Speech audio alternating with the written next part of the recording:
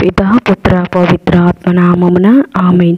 ప్రియ స్నేహితులారా మీ అందరికీ దేవుని యొక్క ఆశీస్సులను తెలియజేస్తూ ఈనాడు తల్లి శ్రీ సభ మనందరినీ కూడా దివ్య బలి పూజ పట్నాల ధ్యానాంశానికి ప్రేమతో ఆహ్వానిస్తూ ఉంది. ఏప్రిల్ ఆరవ తారీఖు శనివారం. అపోస్తుల కార్యంలో నాలుగో అధ్యాయం పదమూడవ వచనం నుండి ఇరవై ఒకటో వచనం వరకు.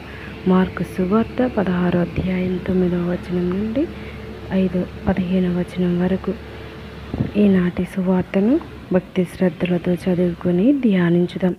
ఆదివారం ప్రాతకాలమున పునరుత్డైన యేసు ముందు తాను ఏడు దయ్యములను వెళ్ళగొట్టిన మగ్దల మరియమ్మకు మొదట దర్శనమిచ్చెను. ఆయనతో ఉండిన వారు దుఃఖ సాగరంలో మునిగి ఉండగా ఆమె వెళ్ళి వారికి ఈ సమాచారమును అందజేశాను ఆయన జీవించి ఉన్నాడని ఆమెకు దర్శనమిచ్చెనని విని వారు నమ్మరైరి పిదప ఆయన ఒక గ్రామమునకు వెళ్ళుచున్న ఇద్దరు శిష్యులకు వేరే రూపమున దర్శనమిచ్చెను.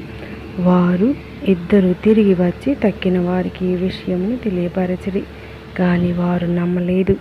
తదుపరి పదకొండుగురు శిష్యులు భోజనమునకు చేయుచుండగా యేసు వారికి ప్రత్యక్షమై సజీవుడై లేచి వచ్చిన తనను చూచు వారిని మాటలను కూడా నమ్మనందున వారు వారి అవిశ్వాసమునకు హృదయ కాఠిన్యమునకు వారిని గద్దించెను. ఎందుకనగా పునరుద్ధానుడైన తనను చూచిన వారి మాటలను వారు నమ్మలేదు.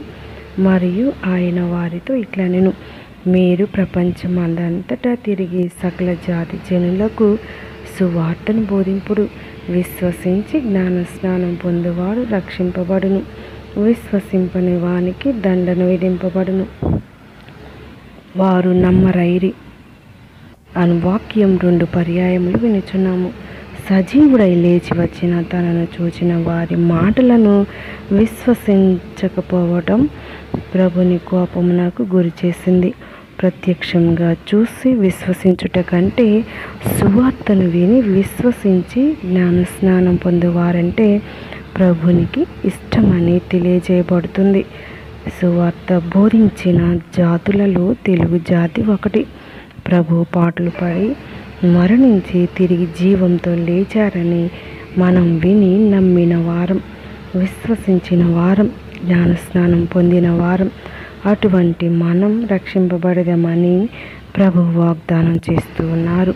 నిరీక్షణ కలిగి ఉండాలని వాక్యం మనలను ఆహ్వానిస్తుంది. ప్రభు వాగ్దానాలను నమ్మి ఆయన వాక్కు ప్రకారం జీవించి విశ్వాసం మరణం వరకు నిలుపుకొని నిత్య జీవిత కిరీటమును పొందుటకు ప్రయత్నించుదాం.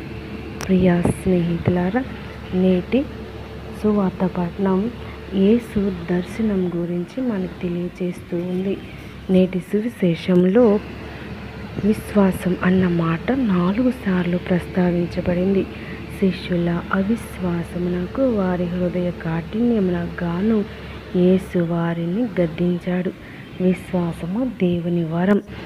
ఆయనను తెలుసుకొనుటకు మరియు పునరుత్న పరమ రహస్యాన్ని అర్థం చేసుకొనుటకు విశ్వాసం అనే బహుమానమును దేవుడు మనకొసగాడు మనలో చాలామంది మీ విశ్వాసం ఉన్నదని భావిస్తాం. కానీ ఆ విశ్వాసాన్ని ఆచరణలోనూ కార్యరూపం దాల్చుటలో విఫలమవుతూ ఉంటాం.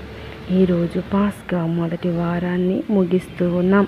క్రీస్తు మనకు ఇచ్చిన ప్రేషిత బాధ్యతను గుర్తుకు చేసుకుందాం.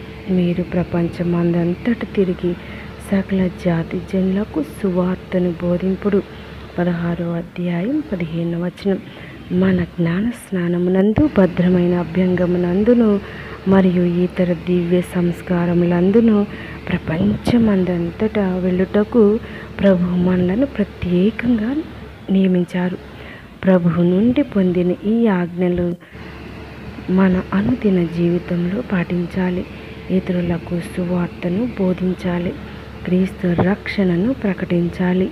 మనం సువార్తను ప్రకటించుటకే ఈ లోకంలో ఉన్నట్లుగా జీవించాలి. ప్రతి కార్యానికి దివ్య సప్రసాదం కేంద్ర బిందువుగా ఉండాలి. ప్రపంచంలో సువార్తను వ్యాప్తి చేసే లక్ష్యంలో మన విశ్వాసం జీవితం ఏకమై ఉండాలి. అయితే సువార్తను ప్రకటించుటకు క్రీస్తుకు సాక్ష్యమిచ్చుటకు ముందుగా మనం దృఢ విశ్వాసం కలిగి ఉండాలి. విశ్వాస జీవితంలో ఎన్నో అడ్డంకులు ఉంటాయి. ఒకటి మనలో గర్వం అయి ఉండవచ్చు. గర్వం వలన శిష్యులు ఉత్తాన క్రీస్తును చూసిన వారి సాక్ష్యాన్ని కూడా నమ్మలేదు. మరొకటి ప్రేమ కలిగి లేకపోవడం. మనలో ప్రేమ లేనప్పుడు స్వార్థంతో జీవిస్తూ ఉంటాం. విశ్వాసం సన్నగిల్లుతుంది. పునీత అగస్తీను గారి మాటలను జ్ఞాపకం చేసుకుందాం.